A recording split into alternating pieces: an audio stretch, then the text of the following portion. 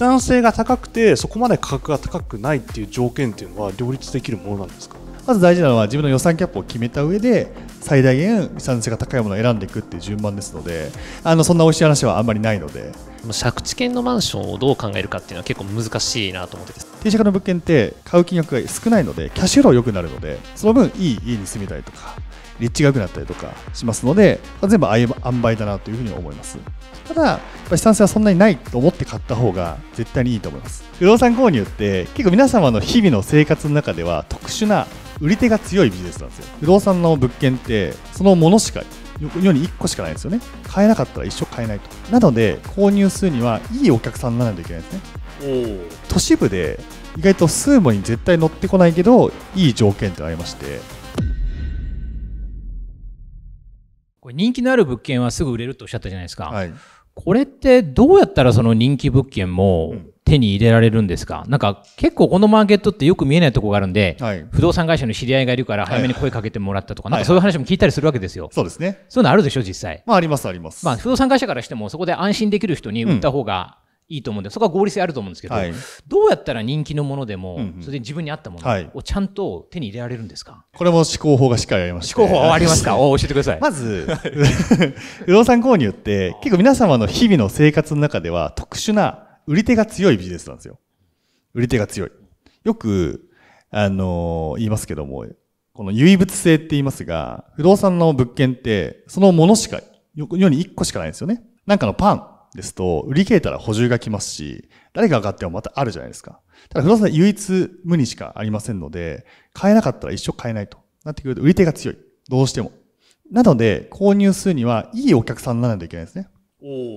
いい顧客にならないといけないってことを勘違いしてると、なんか不動産会社って対応悪いよねとか、レス悪いよねとか言われるんですけど、まあその人もいます。すいません。いますけど、やっぱり自分がある程度いいお客さんになってるから、いい積極してくれるっていうのもあります。どうしても。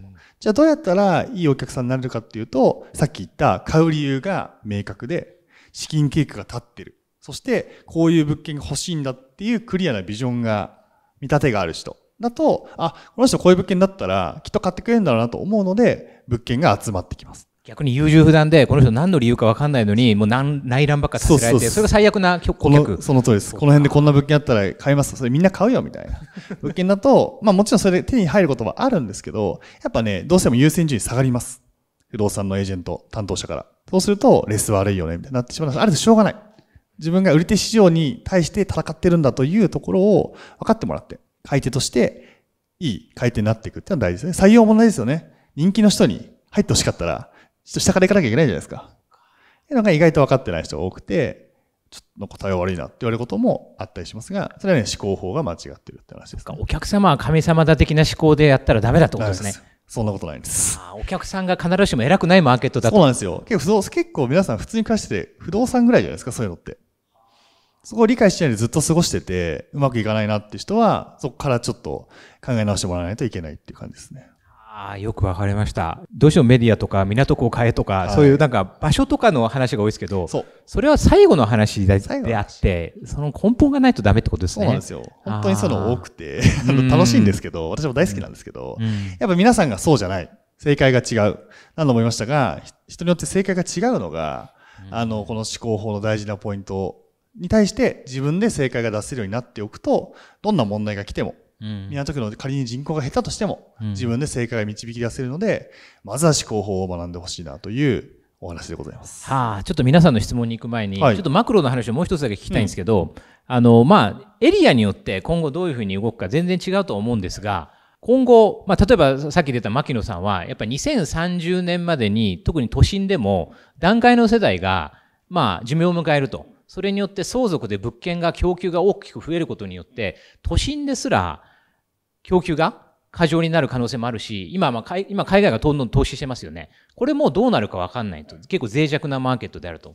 まあ、あと今円安とかあって、金融政策も、まあもう絶対高金利にならないって日本人信じてますけど今、それもまあ2、3%とかならわかんないということも言えて、2030年までにマンションコートを都心でも終わんじゃないかみたいなことを牧野さんおっしゃってたんですけど、はい。そこを江口さんはどうですか？それで言うと、僕も全然その可能性はあると思ってあるいます。あそうなんだ。逆におっしゃる通り、2030年ぐらいまでは価格上がっていくって、牧野さんもおっしゃっ得るんだっていうぐらい、あ逆にね？逆に。あ正直私分かんないと思います。リーマンショックもありましたし、来年価格がどうなのかなんて、正直誰も予想つかないなと僕は思ってるので、あんまり2030年以降が危ないなんてことも私言えないなと思ってます。うんただベース、必ず未来のことは分かんないですけども、ある程度人口動態は、まあまあな確率で分かってくるっていう観点でいくと、うんやっぱ都心の人口はこれからまだまだ増えていく。都市部の人口が増えていくって観点でいくと、まあ、住む人が増えれば需要は増えますので、その時点である程度安心感は高いかなというふうに思ってます。うんで考えるべきは何かっていうと、来年じゃあ30年後都心がどうなるかっていうことよりも、何と比較するかが大事だと思っていて、今って10年前に比べたら買い時ですかって言われたら買い時じゃないんですよ。誰が見ても10年前の方が安かったじゃないですか。同じマンションでも。ただ、今何と比較すべきかっていうと、やっぱ賃貸で住み続けるのに対して買った方がいいんだっけっていう比較をすると、まだまだ買った方がいいと僕は思ってます。うんなので、10年前に買えなかった人はもう悔やんでくださいと。もう反省してくださいと。5年前でもいいですけど。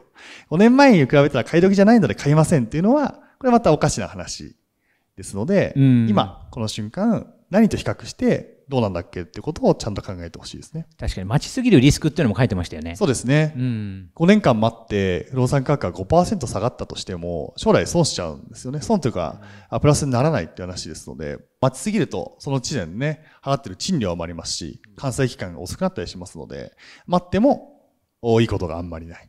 リーマンショックぐらいの下がり幅があったとしても、5年待ったら意外と相殺されてるんですよね。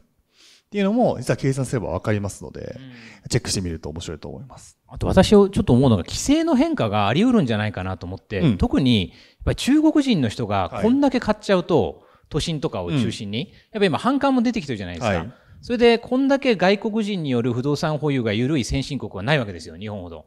これね、なんかもう1、2年で世論が盛り上がって政治家が動くんじゃないかなと思うんですけど、うん。どう思います？私も結構、勝手になと思います。いいんだっけと思うことは。ああ、ですよね。多いですね。特に、まあ、2億円以上ぐらいの物件扱ってますと、内見の半分ぐらいは外国人そんなにですか。ですねうち半分が中国人みたいな、中国の方みたいな形ですね。売り手の立場としては、購買力ありますので、いいんじゃないかなと思いますし、円安効果も相まっていいんですけども、さすがに僕もちょっと規制をしてほしいなと思いますねあ。してほしいですか、はいなんでしなきゃいけないんですか？まあ、日本の国土ですので、ああ、まあそういう理ちゃんと屈ですか？ああ。国民が持っといてほしいなというのもありますし、うんやっぱね、あのーまあ、基本的にはちゃんと住む人に住宅買ってほしいなと私は思ってますので、うんはい。やっぱ住む人に、住む人が買えなくなっちゃうっていうのはもったいない話ですよね。ああ、そうですよね。やっぱ京都とかも地価がそれ上がったじゃないですか。はいもちろん海外の人だけに限らずですけど、ええそれで地元の人たちの家賃が上がっちゃってうん生活が苦しくなって、けどそうなったらね、誰のためのそこにある家なのか。そうなんですよね。逆に言うと、そこ、それは他の都市では当たり前だとも言えるわけですよね。うんそうなんですよだってニューヨークとか、はい。香マンハ港とかッタンでね、普通のカップルが、夫婦が、あそこに住めるかっていうと、住めないのが当たり前ですから。そうですよね。そういう意味では、日本はまだまだ安いと思ってますので、うんただそんなに強い規制をする必要はないんじゃないかなと僕は思ってますけども、うん特に問題になったのが、あの、皇居の周りとかのねマンションで、皇居すごく見下ろせる場所に、外国人が不動産買いまくってですね、上層階そうなんですか？ありまして、えーそれってどうなんだみたいな話もありまして、まあこういった問題はとても政治的ですけども、やっぱ意外と看過できないものなんじゃないかなと僕は思ってますね。ああ、けど経済合理性から考えると、まあ、不動産会社も売りたいですよね。はいだからもう、もう盛り盛り上がりますよね。はいそれをその経済安全保障的な議論だけでうん抑制できるんですかね？それもちょっと極端かなと思って。そうですよ。僕はそれは違うと思っていて、うんやっぱり経済として、まあ外貨が入ってくるという話もありますし、はいまあいい話でもあるので、単純にそれを規制すると、家売れなくなりますので、うん都心部の価格今こんだけ上がっているのって、外国人の購買力が強かったりしますので、まあそれを失うことも単純に良くないですので、結構これはね、僕がそんな簡単に答えれる問題じゃないんですけど、これね、結構深い問題ですよね。あの、感化はできないと思ってますうんし、注目した方がいいなと思ってます、ね。バブル崩壊のきっかけも総量規制だったじゃないですか。そうですね。なので一つの大きい規制の変化、はいそうやって外国人の方の保有を禁じるみたいなことで、その投資マネーが結構引いて、はい。それがいろんなところに連鎖して、なんか不動産バブル、まあ、今がバブルかどうか議論ありますけど、がちまあ、完全に弾けなくても、ちょっとそうですね。沈静化するっていう可能性は十分あるなと思って。そうなんですよ。結局バブルもですね、まあ、蛇口を閉めたっていう話ですので、うん今は金利で調整しようとしているので、全然話が違うんですよね。うん、なので、今の金利で調整している限りは、あの頃のような急激な落ち方って考えづらいと思うんですけども、やっぱ閉めちゃうともうゼロになっちゃいますから、そうね。そこまで行ってくるとかなり大きなダメージがあると思うので、まあ、そこまでね、やりますかって話だと思いますし、まあ、そこまでこう、安直なことをしないんだろうなと願ってますけどね。確かに。そういう意味では、待ちすぎるリスクっていうお話もありましたけど、焦って買う？まあ、今ずっと上がるみたいなことを言う人も多いじゃないですか。多分メディア見てるとそっちの人が多いかなって気まあ、がして。いますね。ね。だから資産価値もあるし、もっと上がるから今のうち買えみたいな、いう意見多いじゃないですか。はい。そういうに焦って買わない方がいいですね。そうですね。ああの、ー下がったとしても、やっぱり賃貸よりもプラスになるんだろうかっていうことを、ある程度計算できるような家うん。がまずいいんじゃないかなと思いますし、あーそうだから家って売れてきたわけじゃないですか。今上がってるかどうか置いといて。その辺は冷静に見極めてほしいですし、まあ上がったらハッピーというところで喜んでもらえればなと思います。不動産業界の関係者って基本的には不動産買ってもらったりした方が儲かるんで、はいみんなポジティブなこと言うじゃないですか。その中で本当のこと言ってくれる人って誰なんですか？そうですね。教えてください最後にいや、なんか私もついにポジショントークって言われちゃうんで、え 誰ですか？あのね、あの LINE ヤフーの川辺さんがいいこと言ってたんですけど、ポジショントークがない人がいないっていうまあ。それないですよね。ポジショントークがないビジネスマンはダメだみたいな。うんそれはそうだと思っててポジ。ショントークは弱い方。そう。はい。弱い方で言うと、的言うと、まあいわゆる不動産評論家と言われる人たちは弱い。は、う彼は売っても売れなくてもいいので、うーん。はい比較的フラットなこと言えるかなとは思うんですけども、うん彼だってこう過激なことを言うのが仕事なので、そっか、そうね。過激に言いがちなんで。ですよ。うんうん。すごい稀なケースをバーンって言って、PV 稼ぎに行くのが。稼ぎに行くポジションなので。PV 稼ぎに行かない信頼できる人誰ですか？そうですね。どうなんですかね。結構ここ難しいので、やっぱそこってどこまで行ってもポジション発生してしまうので、私はそれ以上に思考法をね、身につけてほしいなと思っているので、なんかそこの私の本でも家買えなんて一言も書いてないんですけど、買うべき人は買うべきだし、そうじゃない人はそうじゃないっていうことを書いてるような人、私みたいな人にちゃんと話聞く方がいいんじゃないですかね。そっか。まあ、その意味でも誰か一人を信じることをやめた方がいいですよね。そうです、そうです。やっぱいろんな人の意見を参考にしながら、はい自分の思考で考えるっおっしゃる通りですて。ことですねそう。なんですよ。あのね、これ日本ってとってもこの消費者法が強すぎて、うんうんざりします。正直、自分で考えて自分で行動して責任を取りましょうっていうふうに思いますので、うんあの、もちろん変なことをするって意味じゃなくてですね、自分の頭で考える練習を住宅購入でもしてほしいなと思いますね。そっか。その意味じゃ子供とかと話してもいいですね。そうですね。うん。最近金融教育も流行ってるじゃないですか。あん中に不動産入ってないって僕すごくおかしいと思ってて。はい。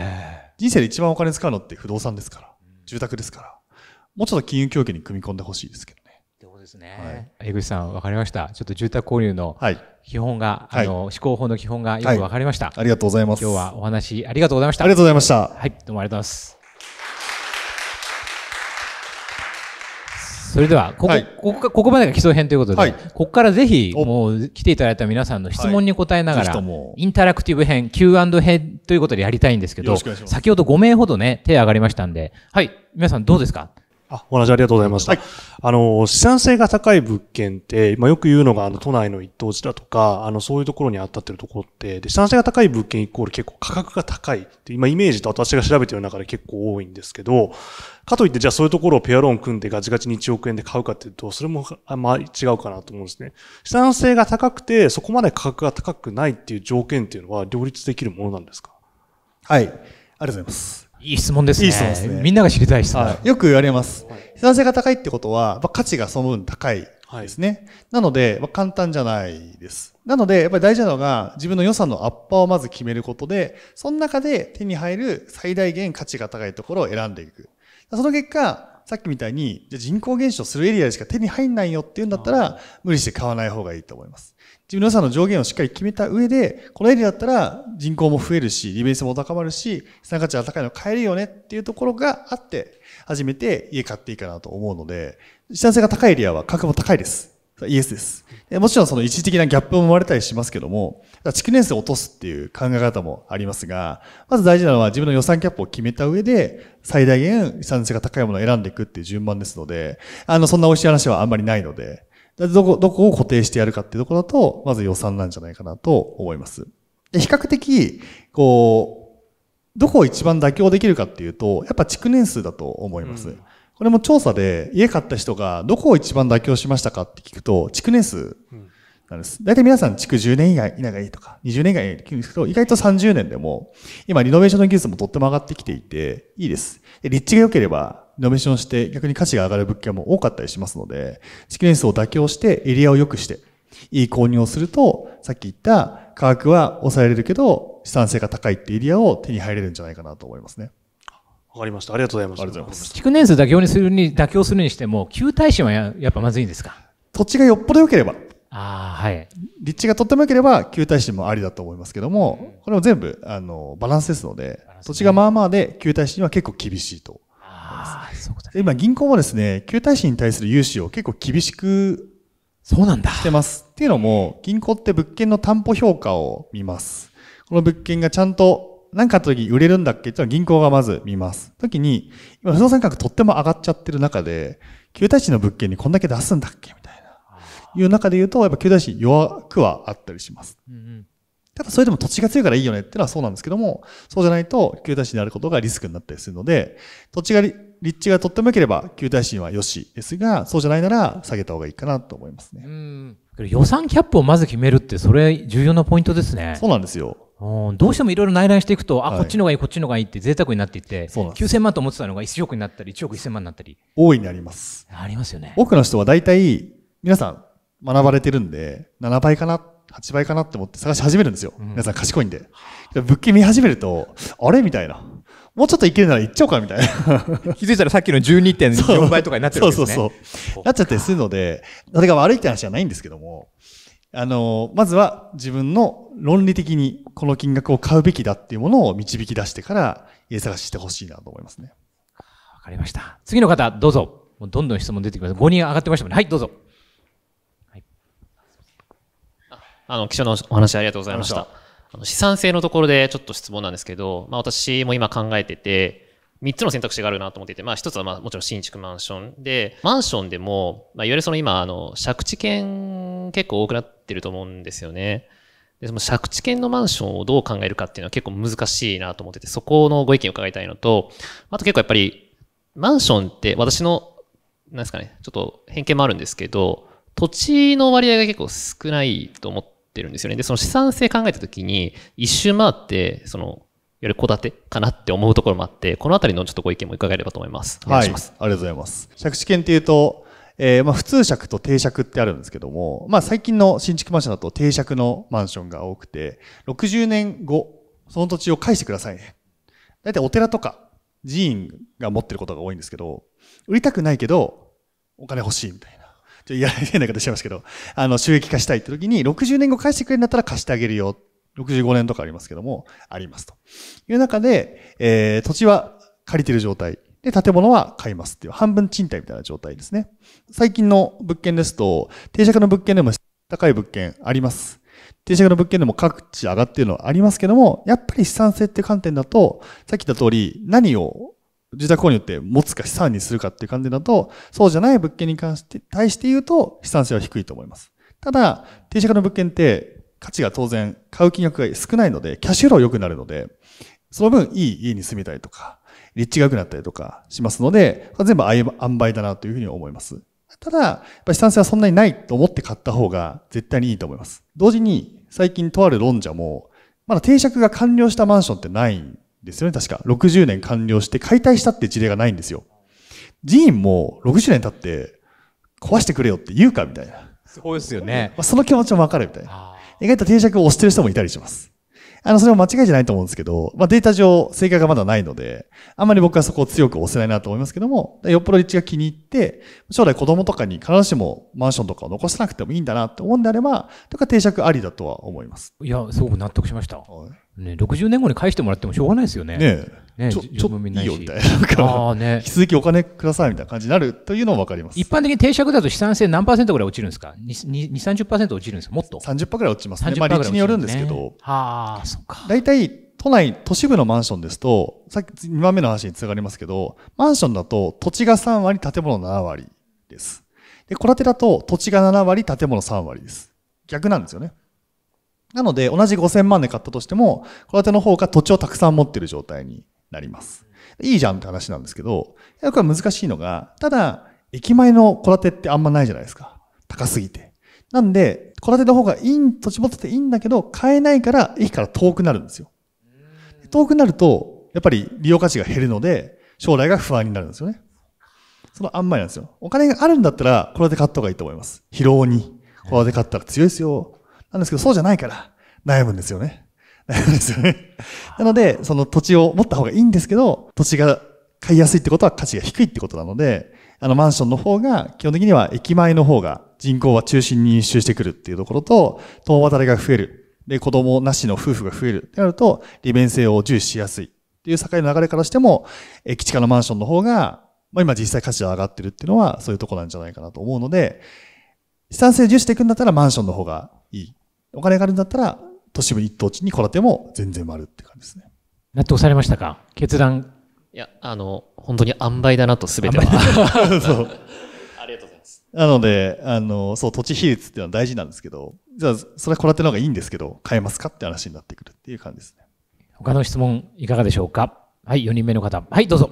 二つ質問ございますけれども、一つ目はですね、私も、あの、それなりの年齢なので、マンションも買って、これから買う予定はないんですけれども、まあ、三つほど買ったので、まあ、売るかもしれないという可能性は、まあ、あるんですけれども、えーその際に、あの、場所選びですね。あの、どこの場所にするかって、これ、非常に悩み考え、あの、買うときにですね、調べて、で、結局、あの、今まで買った履歴を考えると、やっぱり自分のこう、インスピレーションというか、この街はいいなっていう、こういう街との出会いで選んで、まあ、港区とか、あの、都心のね、3区とかすごく、あの、いいんでしょうけれども、まあ、結局、あの、豊島区と新宿、それぞれ、あの、あと福岡なんですけれども、まあ、これがいいのかどうかっていう、まあ、あの、場所の選び方ですね。これに関して、何か、あの、アドバイスをいただければ。ちなみにここまで参戦何勝ですか？あの、まあ、だいぶ前に、20年前、十数年前、それ6年、6、7年前ですので、もうみんな値上がりしている状況でございます、ね。最初ですね。大先輩でございます。はい。これももともと家を買う理由に紐づきますが、まあ、資産性の高い家で、まあ、子育てしたい。まあ、よくあるケースで言うと、まずその駅力みたいなのが大事ですね。特に夜間人口、駅の夜間の乗車人口がちゃんと増えてるかっていうのが結構大事ですと。夜利用する人がちゃんと増えてる。まあ、そこに街に住む人がちゃんと増えてるよっていうのが大事なので、まあ、一個の定量的な見やすい指標として使うのがいいんじゃないのかなと思いますと。あとは、わかります？その駅前の雰囲気いいなとか、使いやすいなとか、いうのはやっぱり駅前のこの充実度ですね。特に昔からの古い商店街とか、あの、お店がちゃんと駅前でまだ営業されてるっていうことは、結構大事なポイントですし、古い建物が多いってことは、将来再開発がかかる可能性も高かったりするんですよ。最近ですと日暮里ですね。日暮里が最後の山手線のフロンティアとして、再開発かかりましたけど、やっぱあそこも、歓楽街も少しありますけども、やっぱ古い建物が多くて、長いこと住んでる人がいて、ちゃんとそこに対して古くなりすぎたんで、再開発がかかると価値がぐっと上がったりする。まあ大塚とかもそうですよね、豊島区ですと。っていうエリアは少しこう狙い目なんじゃないかなと思ったりします。あの、大塚にお不動産持っておる。大塚と新宿。ですね。はい新宿も西口の方ですか？東の方新宿は新宿御苑の前。御苑の方ですね。はい。そう。で、もう一個、俺大塚も御苑もいるんですけど、特に都市部でいい、意外とスーモに絶対乗ってこないけど、いい条件ってありまして、じゃあグリーンビューが強いんですよ。グリーンビュー。家から緑が見える物件。ああ、いいね。そう。これってね、価値がずっと高くてですね。まあ、御苑、大塚、まあ、どっちもね、公園、あの、ありますけども、その物件はどうかわかんないですけども、やっぱり街中に緑がある。最高なのは、家から、都市部、都市部の場合、家から緑が見える物件っていうのは、価値が高まりやすい。まあ、グリーンビューの物件を高く買いたいっていう人が多いっていうデータもありますので、なってくると、一つお勧めなんじゃないかなというふうに思いますね。もう一つ質問なんはいです。はいはい すいません。あの、私、あの、普段大学で、えーマーケティングを教えている教員なんですけれども、まあ、不動産とかこういう住宅は全く専門外なんですけれども、ただ、あの、学生さんたちって結構、あの、今から家のこととか、あの、ライフプランとかですね、お金のリテラシーとか、こういうことをちょっともっとやっぱり真剣に、早い時期から学んだ方が、まあいいなと思っていて、若い学生さんとかに、まあ最初の取っかかりとして、まあ家の購入とか賃貸で行くのか、買うのかとか、この辺に関してどういった内容や方法で、あの、はじ、あの、始めていけばいいのかなと。いや、ありがとうございます。まさになんか一緒に考えたいぐらいのテーマではありますけど、私は大学生って観点でいくと、あ子供もいないし、働いてもないんで、そんななんか家買うなんて想像もつかないと思うので、やっぱ数字面で理解をすることがいいんじゃないのかなとは思いますね。あの私した BS 思考もそうですけど、やっぱ家を買うって結構若いこともしかしたらネガティブに考えてる人多いんじゃないかなと思うんですよね。インフルエンサーはそんなこと言わないし、賃貸の方がいいって言うし、将来不安な人が今多いって聞きますので、やっぱ長い資産を持つことになんか漠然とした不安があると思うので、その漠然を解像度上げるために数字でちゃんと賃貸で購入でどういうシミュレーションになるんだっけ？変数は何なんだっけ？つまり金利と物件価格の下落率が一番レバーとして大きいよねって分かってると、じゃあそうじゃない買い方って何なんだっけ？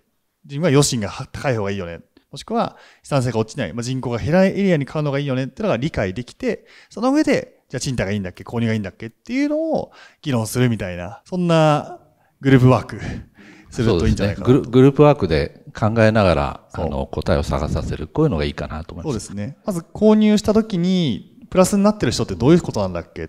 で見るとあ賃貸とこんなに差が出るんだみたいな。多分購入がいいなって思う人も出てくると思うんですよ。けど余震が必要なのかみたいな。余震俺っていけんのかなみたいな。なるといいところに就職する理由も出てきますし。余震で言うと私もあのあの職場を移った時はあの住宅ローン断られた直後はやっぱ断られるんですよね。はいはいはいうんですから、その話は 学生さんにはしてますね。ですから、職場移った直後にローンを組むとなると、ちょっと厳しい審査になりがちであるっていう、これは経験してますので。でね、はい、やっぱり会社の資本金とかも見られますので、大企業の方がいいよなんて言いますけども、やっぱそういうのは、ここで出てくるんだよっていう。住宅購入して初めて自分の人生を知るって人は多いんですよ。審査されるなんて初めてじゃないですか。受験以来じゃないですか。落ちたりするわけですよ。結構初めての経験するので、そこで、あなんかそういうのをはじ、もっと早くに知っとけよかったなっていう人もいるので、早めに教えてあげるととってもいいと思います。ちょっと場所の選び方のところの関連で、はい、ハルミフラッグ問題でどう考えてるんですか？あれはなんかいっぱい買いが入って、けど今、賃貸物件がゴーストタウン化してるみたいなニュースが出てるんですけど、はい、あそこって歩いて十何分とかでちょっと、ええ地理が悪かったりとか、そのハルミフラッグ問題も含めた湾岸地域のこれからの場所としていいのかどうかも含めて、ちょっとプロと、プロとして見解伺ってもいいですか？まず湾岸僕はおおむねお勧めはしてます。やっぱり都心近くて、ただ、都市、本当に都心に比べるとよっぽど安いので、高まってますけども、やっぱり立地で大規模なマンションが多い。大規模なマンションの方が資産性が高いという統計もありますので、資産性が高いものが手に入るという観点だと、まあ、多くの人にお勧めしやすいエリアかなというふうに思ってますが、前提です。でハリメラックどうかっていうと、あれはね、なんていうんですかね、まあ、令和の宝くじって言われてますけども、あれはまず売り出し値が安すぎたっていう問題がありますね。で、昔はしかも抽選の規制があんまかかってなかったので、バンバン皆さん買い入れて、私の知り合いも9個持ってますって人もいます。います。いいっすね、みたいな感じですけど。で、それはまあいいんですよ。それいいんですよ。最近問題なのが、住宅ローンで買って、住まずに転売しようとしてる人。これは問題ですね。うん、住宅ローンは住むように必ず買わなきゃいけないので、それを賃貸目的とか転売目的でやってる人は結構問題です。うん、ハルミフラッグの貸し倉庫問題っていうのもあってですね。何ですかそれ？その賃貸にしちゃうと、郵便物が届いて住民票的にバレちゃうので、ポストは使わないでほしいと。貸し、貸し倉庫にして スペースだけ貸しますみたいな。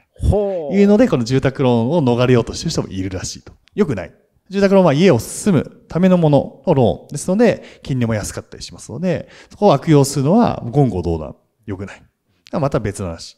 ただ現実は、一番根幹は、やっぱ安かったんですよね。あの時、東京とかディベロッパーに売りましたけど、その時に金利がこんだけ安くなって、こんだけこの価格上がるとは思ってなかった。あんな立地だし。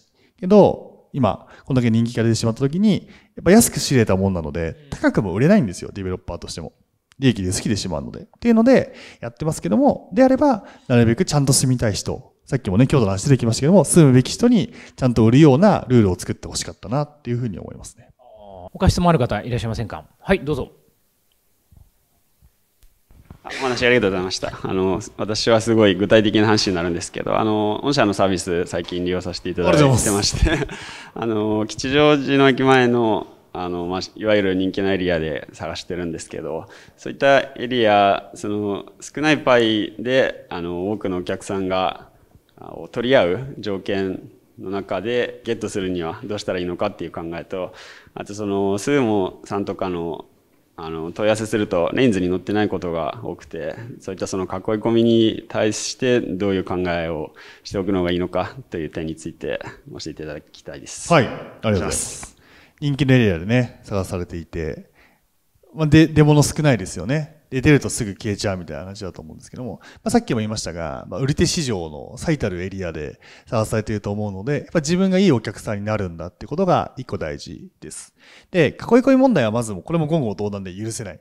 囲い込み撲滅なんですけども、やっぱどうしても法律上、レインズに登録するのに1週間しなくていいっていう、あの、業法がありますので、はい。なるべく自分のお客さんで決めたいって思うのが当然です。なので、おすすめとしては、自分の条件をクリアにして、買う理由、余震、ローンも通した状態で、こういう家があったら買いますというのをちゃんとまとめた上で、吉祥寺エリアでまず営業している財閥系の動産会社さんに、できれば店長とかリーダークラスに、こんな物件あったら買いますっていうのをちゃんとお伝えをする。プラス、まあ、当社のエージェントでもいいですし、そのエリアで強い、まあ、力のあるエージェントにしっかりと相談をして、そうすると、もしあなたが本気であれば、その物件に対して売り物が出てないかとか、いつ出そうかっていう調査もしてくれますので、一部ね、売りませんかっていうポスティングを投げてくれることもあったりします。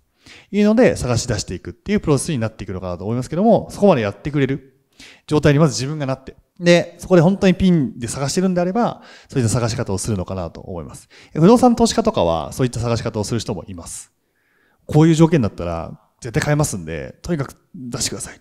不動産会社にファックスを送ったりとか、会いに行ったりしますけども、購入によっても、すごくエリアが限定されてるんであれば、そういった方法もあるのかなとは思います。一個だけ注意なのが、未公開物件が必ずしもいい物件ではないという話ですね。未公開なだけですので、ここだけ注意していただいて、冷静な判断をしていただけるといいかなと思いました。ありがとうございます。でもいきいきなり店長出してくださいって言っていいものですかね。ああ、でも全然、あの、店長出してくださいって言いますか？リーダークラスね。リーダークラスとか、まず問い合わせフォームに投げて、こういう条件を探していて、なるべく物件情報多い人と接したいんですけども、いいねありますかってなると、まず下っ端は出してこないと思いますので、大手の不動産会社にとって、家の購入したい人って優先度低いんですよ、実は。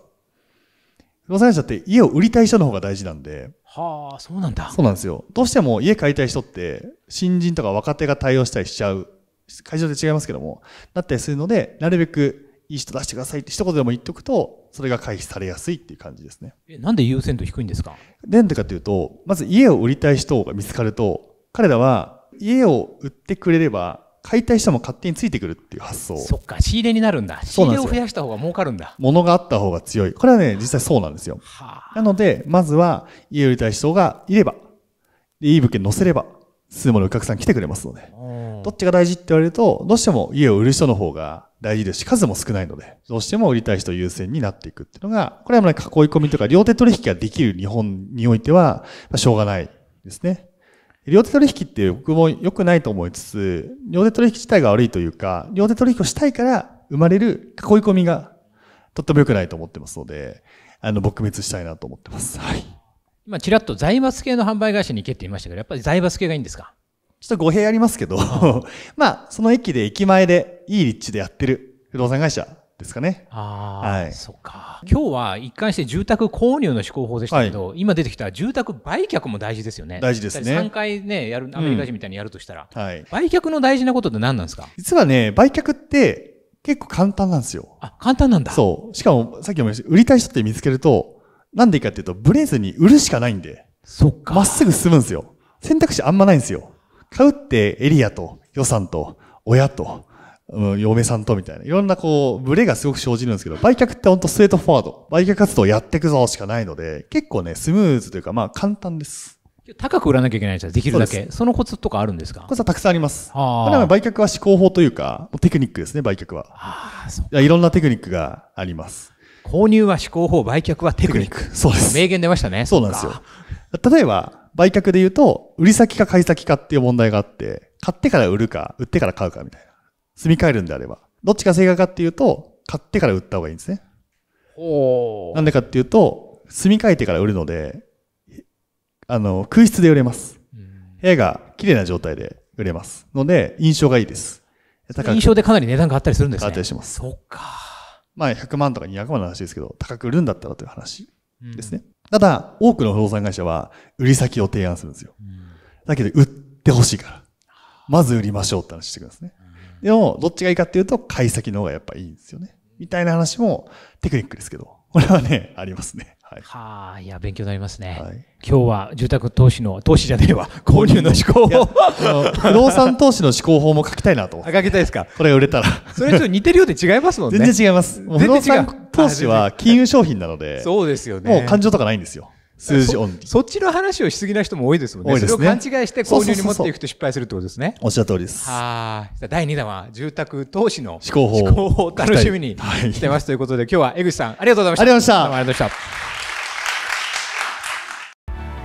ピボットアプリではランニングしながらでも学べるバックグラウンド再生が可能です運動中通勤中家事をしながらでもいつでもどこでも学べます学びながらポイントをゲットできちゃいますよながらで学ぼうピボット詳細は概要欄のリンクをチェック。